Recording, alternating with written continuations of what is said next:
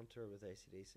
Um, I think it was 2009, and um, we kind of we'd been on tour for about 12 months, I think, or maybe even longer, and it was pretty relentless. We were doing um, the like stadium shows with AC/DC in Europe, um, and then uh, they would do a gig and a day off and a gig. So we started, we were filling in the days off with our own headline shows and playing for about an hour 45 and then obviously back with AC/DC the next day.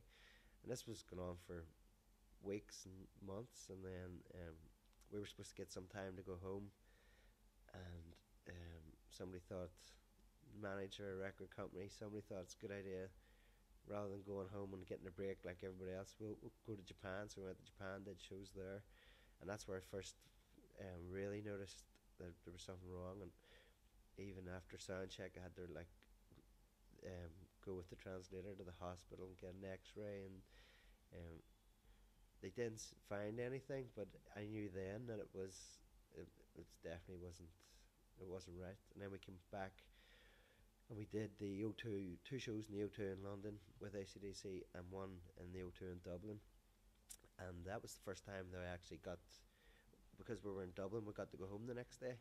So um, that was the first chance I actually had a day off. So whenever I got home, I went to the hospital the next day, got got my hand x-rayed and, and it was broke.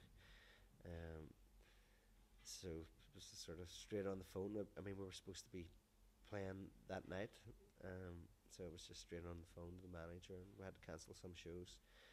And then uh, I got a friend of mine from back home, great drummer called called Carl Pappenfuss, um, who I've known for years. And Carl was kind of he's a bit older than me, so he was kind of the drummer we all looked up to in, in our time.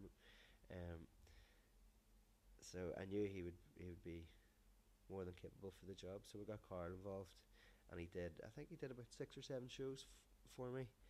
Um, but one of the shows I missed out on was n- like 93,000 people, Hockenheim in Germany. And that night I remember just sitting at home, go, my head in my hands. I couldn't believe I was missing this, you know.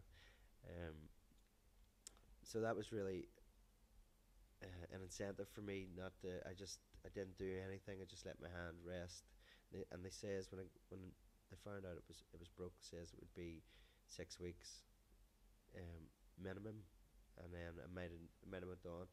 So it was like six weeks. What's going to be happening in six week, weeks? What stadiums are they going to be playing? So I just made sure that I didn't do anything, and, and I rested my hand as much as possible. And luckily, after six weeks, it was healed, and, and I was back.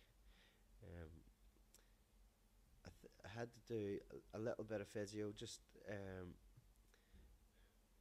I mean, one of the main things the, the guy just he got me to get a stress a stress ball, and it was just I'm carrying this about with me every day and stretching my hand as much as possible just to strengthen it up again because obviously if you haven't used it for six weeks it's kind of like even eating your dinner is a bit weird you know so um, but I don't think there wasn't too much. Luckily the hand healed um, and it, it, it, was strong straight away and I was able just to get, get straight back on tour again